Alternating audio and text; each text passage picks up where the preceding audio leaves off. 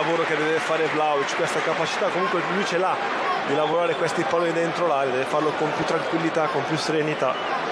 A volte sembra un po' troppo frenetico nelle scelte.